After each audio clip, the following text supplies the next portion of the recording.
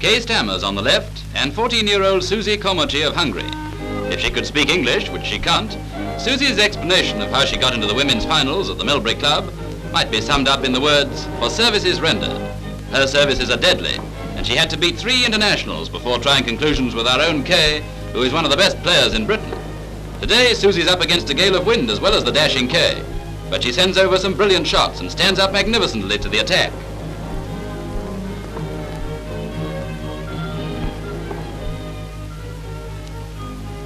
Kay Stammers handles the Hurricane and Little Miss Hungary according to plan.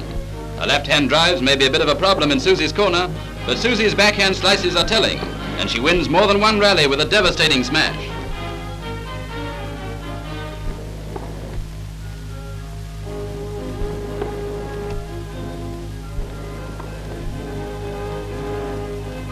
The slow-motion camera shows the finer points of the Hungarian junior champion style.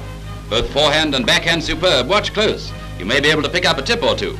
And Kay wins. But Susie's game to the last, and she goes down, or rather runs up, fighting.